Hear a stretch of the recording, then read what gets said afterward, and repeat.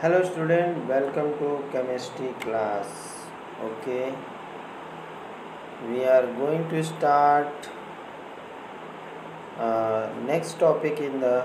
basic concept of uh, some basic principle and techniques in the organic chemistry, and uh, we have studied some topics from this chapter like the functional group and homologous series. Once again I will repeat uh, what is functional group. These are the some group of atom present in the organic compound. it Specify the chemical properties of that compound. किसी भी molecule किसी भी organic compound के अंदर कुछ specific group of atom होते हैं जो ये डिसाइड करते हैं कि उसकी क्या प्रॉपर्टी होगी ओके तो ऐसे डिसाइडिंग ग्रुप को हम फंक्शनल ग्रुप कहते हैं और होमोलॉगस सीरीज़ किसको कहते हैं होमोलॉगस सीरीज़ जो होती हैं उस होमोलॉगस सीरीज को के बारे में मैंने बताया था कि एक से अधिक कंपाउंड के बीच में सी एस टू का डिफरेंस होता है किसका होता है सी एस टू यूनिट का डिफरेंस होता है ऐसे जितने भी कंपाउंड होते हैं उनके फंक्शनल ग्रुप सेम होते हैं उनमें डिफरेंस यश एस टू का होता है ठीक है उनकी केमिकल प्रॉपर्टी सेम होती है उनकी physical property length carbon length बढ़ने के साथ साथ जो है बढ़ती जाती है ठीक है और साइज कम होने के साथ साथ कम होती जाती है तो ये होमोलॉगस सीरीज़ होते हैं यानी वो मेंबर जो कि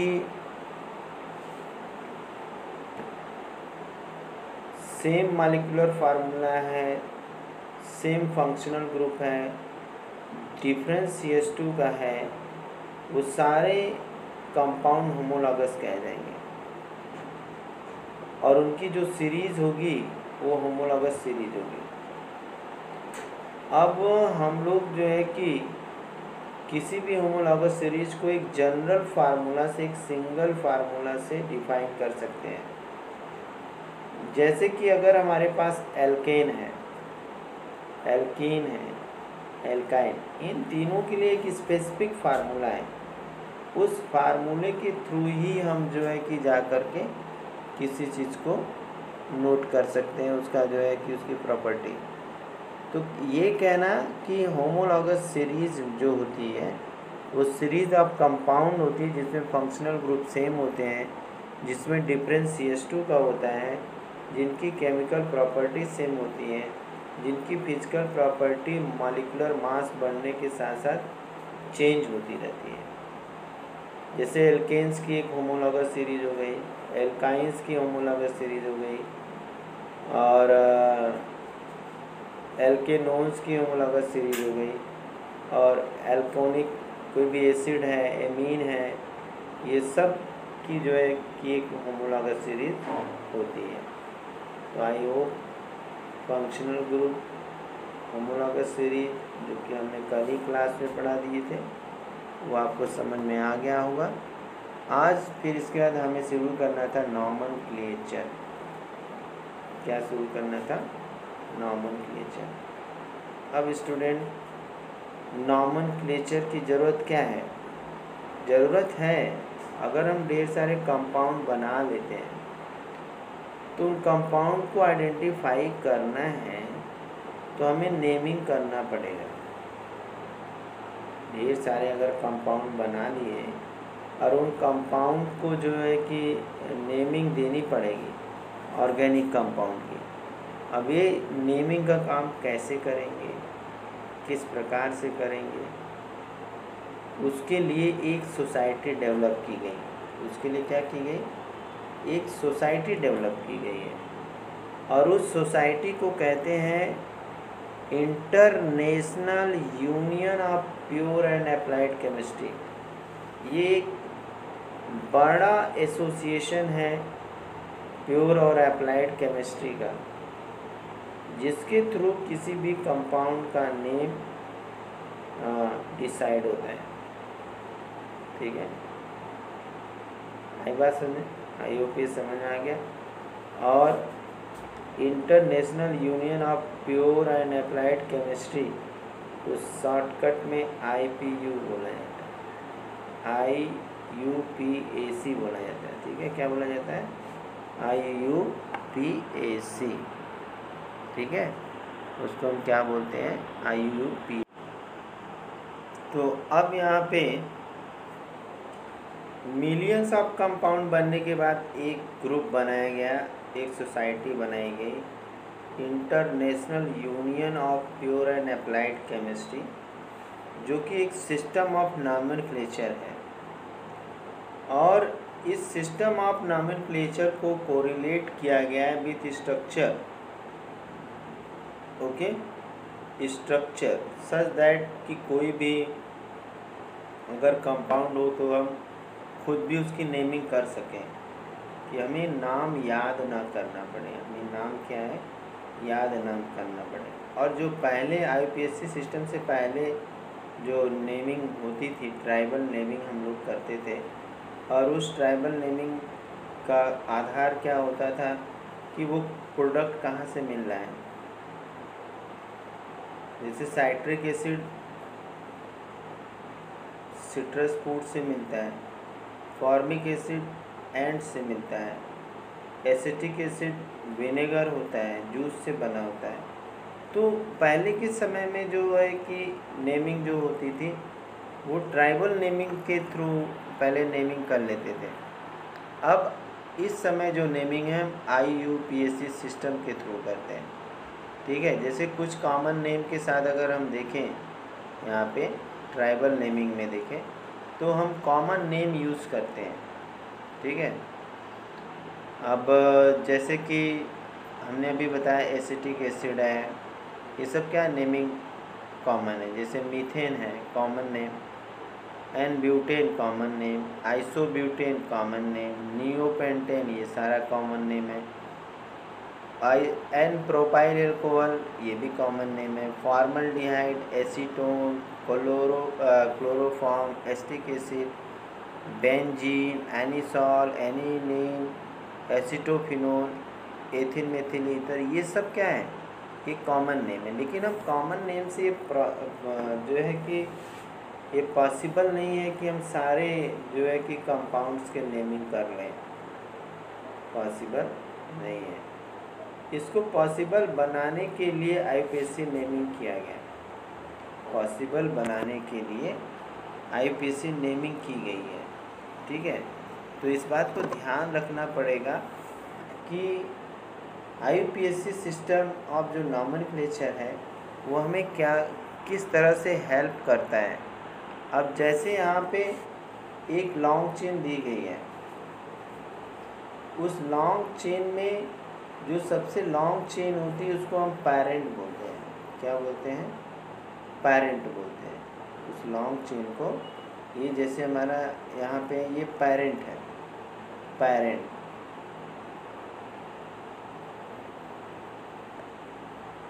क्या है पैरेंट और इसके अलावा जो जैसे ओ OH एच ग्रुप है okay O H group B R ये सब जो है फंक्शनल ग्रुप की कैटेगरी में आते हैं लेकिन हमें किसे functional group main functional group decide करना है वो हम एक सीरीज से डिसाइड करते हैं रिएक्टिविटी के बेस पे तो फिलहाल यहाँ पे जो हमारा येलो कलर का एक स्ट्रेट लाइन दिख रही है जिसमें C H three C H C H two C H C H C H three लिखा हुआ है ये एक पैरेंट चेन है पैरेंट चेन से जो ये पिंक कलर का स्ट्रक्चर दिखाई दे रहा है इसे फंक्शनल ग्रुप कहते हैं और जो यहाँ पे ब्लू कलर का सी एस थ्री दिख रहा है ये यहाँ पे क्या है ब्रांच है इस बात को हमें ध्यान में रखना पड़ेगा कि जब भी नेमिंग करते हैं तो वहाँ पे एक पेरेंट होता है एक फंक्शनल ग्रुप होता है एक जो है ब्रांच होती है अब अगर कहीं मल्टीपल फंक्शनल ग्रुप आ गए तो वो डिसाइड करना पड़ेगा प्रियोरिटी बेसिस पे ठीक है जैसे इलेक्ट्रोकेम हम लोग स्पेक्ट्रोकेमिकल सीरीज में पढ़ते हैं ट्वेल्थ में या हम लोग इलेक्ट्रोकेमिकल सीरीज पढ़ते हैं तो वहाँ एक ऑर्डर बना देते हैं तो वो अगर एक से ज़्यादा फंक्शनल ग्रुप है अगर तो उस केस में हम लोग जो है कि प्रायोरिटी बेसिस पे प्रायोरिटी लेवल पे देखेंगे कि क्या हो सकता है ठीक है चलिए नेक्स्ट आते हैं तो हम लोगों ने पेरेंट जान लिया अब इसमें हमें प्रीफिक्स सफिक्स को भी ध्यान में रखना है प्रीफिक्स क्या होता है जो नाम से पहले जैसे हेलो एल्केन में हेलो क्या है प्रीफिक्स है अब एल्केन सफिक्स हो गया जैसे फिनॉल है तो फिनॉल फिनॉल में ऑल जो है वो क्या है सफिक्स है जो नाम के बाद लगा जैसे अगर आपका नाम है राजेश सिंह तो सिंह जो है एक फंक्शनल ग्रुप को बता रहा है वो हमारा सफिक्स है है ना अब अगर राज कुमार सिंह या राजेश सिंह के पहले बाबू राजेश सिंह लग गया तो बाबू क्या हो गया प्रिफिक्स हो गया ठीक है तो प्रिफिक्स क्या होता है नाम से पहले सफिक्स क्या होता है नाम के बाद इसको हम सफिक्स और प्रिफिक्स कहते हैं इस बात को ध्यान में रखेंगे ये टॉपिक बार बार जो है कि यूज़ होगा अब अगर हमें नेमिंग करना है तो हम एक एक करके शुरुआत करेंगे एक एक होमोलॉगस सीरीज़ को उठाएंगे जिनमें फंक्शनल ग्रुप सेम होता है अब बच्चों ये थोड़ा सा टीडियस आपको लगेगा लेकिन बहुत अच्छे से समझ में आएगा नेमिंग को अगर हमें करना है नेमिंग को अच्छे से जानना है तो हमें एकदम तह तक जाना पड़ेगा अंदर तक जाना पड़ेगा और वन बाई वन बड़े पेशेंस के साथ इसको सीखना पड़ेगा जैसे कि अगर नॉमिक्लेचर आप एल्केन की बात करते हैं तो एल्केन हमारा क्या है एल्केन एक सीरीज़ है जिसमें कि सी एस टू का डिफरेंस होता है दो कंपाउंड्स के बीच में ठीक है सी एस टू का डिफरेंस होता है दो कंपाउंड्स के बीच में आई बात सुने तो अब इसमें हम लोग सबसे पहले होमोलॉगस सीरीज का पहला मेंबर यहाँ पे ले लेते हैं वो है एल्केन्स क्या है एल्केन्स अब एल्केन्स की हम नेमिंग कैसे करेंगे इसको देखेंगे स्ट्रेट चेन हाई हाइड्रोकार्बन की अगर बात करते हैं एल्केन क्या बोला हमने एल्केन एल्क एल्केन में जो एल्क वाला पार्ट है वो तो रूट वर्ड है वो क्या है रूट वर्ड है वो नंबर ऑफ कार्बन को बताता है लेकिन जो इन वाला पार्ट है वो उसके सेचूरेटेड होने की बात बताता है उसके सिंगल बॉन्ड खाली होने की बात बताता है लेस रिएक्टिव होने की बात बताता है मोर स्टेबिलिटी की बात बताता है ठीक है अब इसमें यहाँ पे अगर देखा जाए जैसे कि methane C H four formula है मेथेन बोलेंगे सी टू एच सिक्स है इथेन बोलेंगे सी थ्री एच एट है प्रोपेन बोलेंगे सी फोर एच टेन है ब्यूटेन बोलेंगे pentane C five H twelve इसी तरह से हम लोग जो है कि थर्टी तक जा सकते हैं अब हमें अगर ये डिसाइड करने आ गया कि पेरेंट पेरेंट कौन है तो हम आसानी से नेमिंग कर सकते हैं अब अगर एक चीज़ नेमिंग स्टार्ट करने से पहले एक चीज़ और देख लें एल्काइल ग्रुप की बात करें एल्काइल ग्रुप कैसे बनता है जैसे हम मीथेन है यहाँ से हमने एक हाइड्रोजन रिमूव कर दिया तो मेथिल बन गया इथेन है इथेन से एक हाइड्रोजन रिमूव कर दिया क्या हो गया एथिल बन गया ऐसे ही एक अगर हाइड्रोजन को किसी एल्केन से रिमूव करते हैं तो एल्काइन बन जाता है एल्काइन कैसे बनता है बच्चों हाँ जब किसी एल्केन से एक हाइड्रोजन निकल जाए तो वो क्या बन जाएगा एल्काइन बन जाएगा आई बात समझे अब ये बात तो समझ आ गई होगी अब चलते हैं जैसे कि कुछ एब्रीविएशन होते हैं एब्रीविएशन जैसे हैं isopropyne secondary butyne isobutyne tertiary butyne और नियोब्यूटाइन ठीक है ये कुछ जो है कि कॉमन नेम थे जिनका यूज हमें करना है अब इसके बाद स्ट्रेट चेन की नेमिंग में ज़्यादा प्रॉब्लम नहीं होती ज़्यादा प्रॉब्लम नहीं होती प्रॉब्लम वहाँ होती है जहाँ ब्रांचिंग आ जाती है जहाँ पे क्या आ जाती है ब्रांचिंग आ जाती है उस ब्रांचिंग के कारण थोड़ी सी प्रॉब्लम होती है तो अब ब्रांच आइए सीखते हैं कि ब्रांच चेन एलिमेंट का नेमिंग कैसे करते हैं पहला रूल क्या कहता है फर्स्ट ऑफ ऑल हमें लॉन्गेस्ट पॉसिबल चेन निकालनी है लॉन्गेस्ट चेन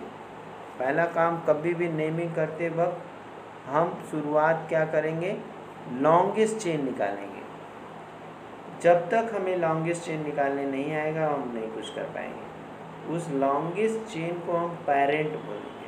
क्या बोलेंगे पैरेंट बोलेंगे लॉन्गेस्ट चेन को क्या बोलेंगे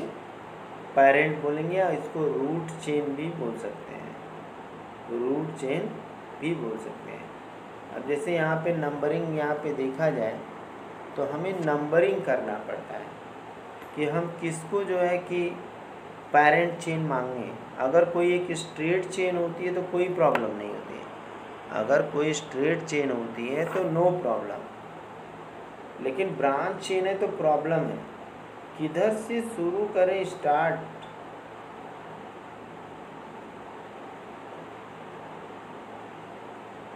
किधर से शुरू करें स्टार्ट तो आइए चेक कर लेते हैं जैसे यहाँ पे इस कंपाउंड दिया हुआ है क्या दिया है कंपाउंड यहाँ पे अगर वन से चलते तो one two three four five six seven eight nine straight chain carbon आ रहा है लेकिन अगर ये चेक करना है कि ये वाला लॉन्गेस्ट है कि ये वाला लॉन्गेस्ट है कैसे पता लगेगा तो अगर हम यहाँ से one two three four five six हमने नाप लिया सिक्स के बाद सेवन एट तो अगर हम यहाँ से घूम कर ऐसे आते हैं तो हमें केवल एट कार्बन मिलेंगे क्या मिलेगा एट कार्बन लेकिन अगर हम सीधा चले जाते हैं तो यहाँ क्या मिलेगा नाइन कार्बन मिलेगा तो ये वाला हमारा जो फर्स्ट नंबरिंग है वो क्या है फर्स्ट वाली नंबरिंग राइट है उसको हम फर्स्ट मानेंगे तो हमें कोशिश ये करनी होती है कि लॉन्गेस्ट पैरेंट चेन को खोजना होता है किसको लॉन्गेस्ट पैरेंट चेन को खोजना होता है इस बात को ध्यान रखिएगा ठीक है चलिए आगे बढ़ते हैं okay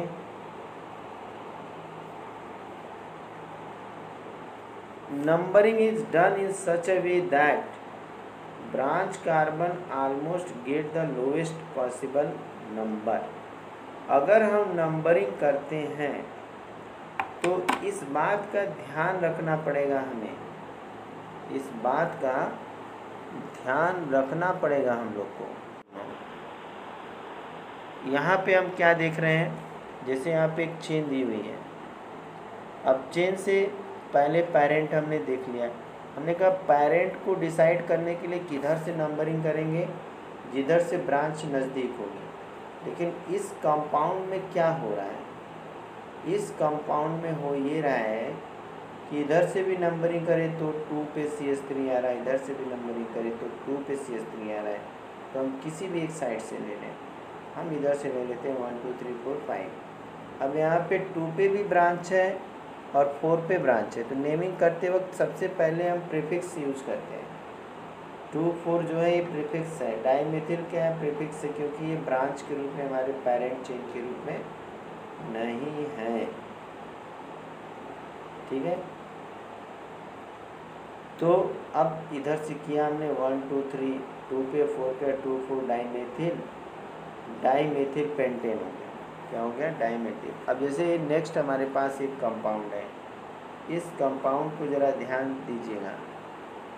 इस कंपाउंड में देखिए यहाँ से नंबरिंग की गई one two three four five इधर से नंबरिंग क्यों की नहीं की गई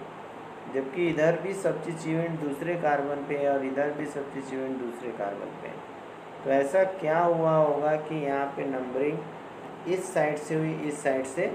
नहीं हुई इस साइड से हुई और इस साइड से नहीं हुई इसका कारण है कि इस एंड पे सेकेंड कार्बन पे दो ब्रांच लगी है तो जहाँ मैक्सिमम ब्रांचिंग होती है वहीं से हम नंबरिंग स्टार्ट करते हैं उसके आसपास से नंबरिंग स्टार्ट करते हैं ठीक है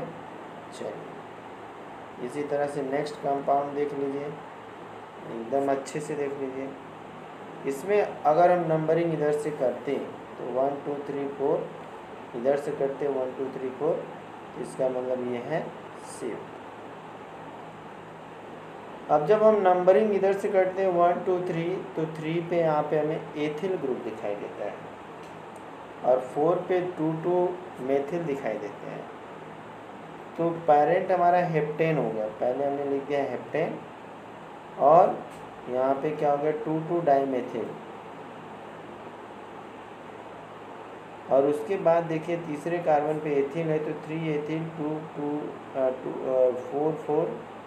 dimethyl heptane चलिए ठीक है अब आ, आगे आते हैं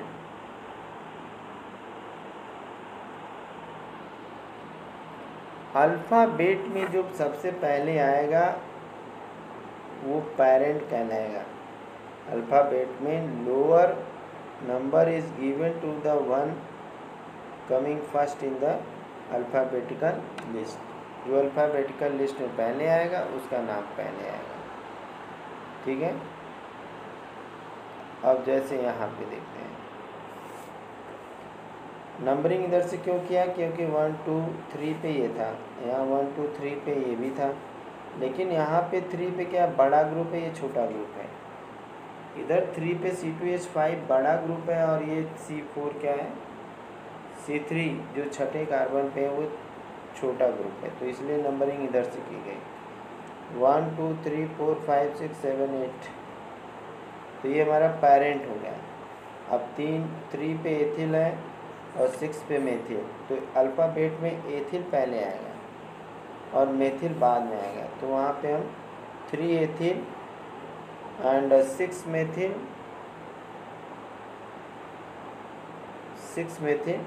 octane ये इसकी जो है कि नेमिंग हो जाएगी अब इसके बाद अगर branch alkyl group can be name by follow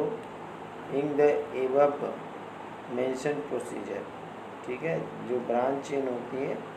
उसको आगे किस तरह से नेमिंग करेंगे आगे हम लोग पढ़ेंगे carbon atom of branch that acts to the root alkene L ध्यान में रखना पड़ेगा ठीक है अब रूट एल्किन जैसे यहाँ पे दिया हुआ है अगर ये इतना बड़ा ग्रुप किसी भी एल्किन से जुड़ा हुआ है ये ब्रांच के रूप में है ये क्या है ब्रांच के रूप में है तो ऐसी कंडीशन में हम लोग जो है ध्यान में रखते हैं कि जो तो अब यहाँ पे हम लोगों ने ब्रांचिंग में भी कैसे नंबरिंग करेंगे अगर एक बड़ी ब्रांच पेरेंट से जुड़ी हुई है तो तो इस तरह से नंबरिंग कर लेंगे ठीक है और अल्फ़ाबेटिकल जो ऑर्डर प्रीफिक्स का है न्यू इसको हम फंडामेंटल नेम का पार्ट समझ लेते हैं एल्काइल ग्रुप का ठीक है तो prefix secondary tertiary are not consider as the part of functional group इसलिए उसको हम नेमिंग में कंसीडर नहीं करते हैं क्या करते हैं कंसीडर नहीं करते हैं इस बात का ध्यान में रखिएगा इसके बाद नेक्स्ट अगर ऐसा कभी हो गया if happens to be chain to chain of the equal size अगर दो चेन की साइज इक्वल है तो उस कंडीशन में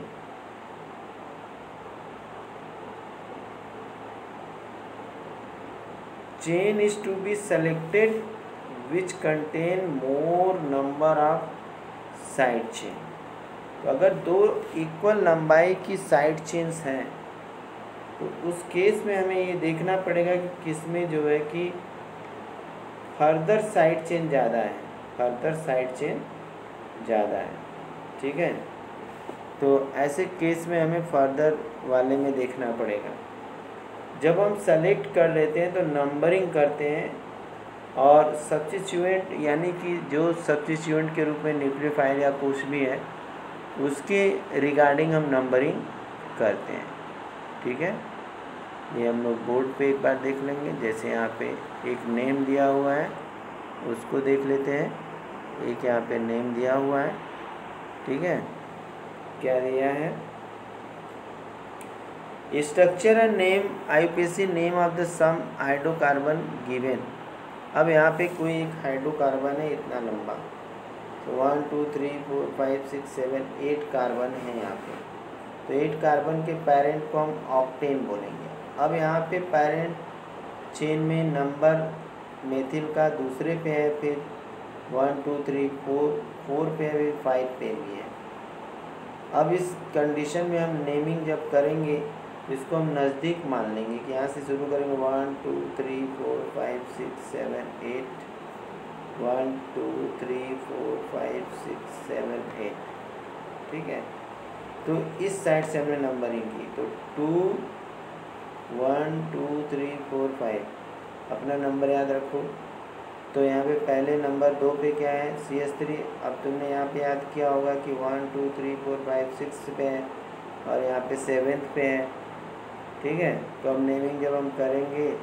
तो one two three four five six यानी फाइव और सिक्स पे लगा हुआ है तो जब नंबरिंग करेंगे तो two five six trimethyl octane trimethyl octane ठीक है तो कल की क्लास में फिर मिलेंगे हम लोग नए नेमिंग के साथ thank you have a nice day okay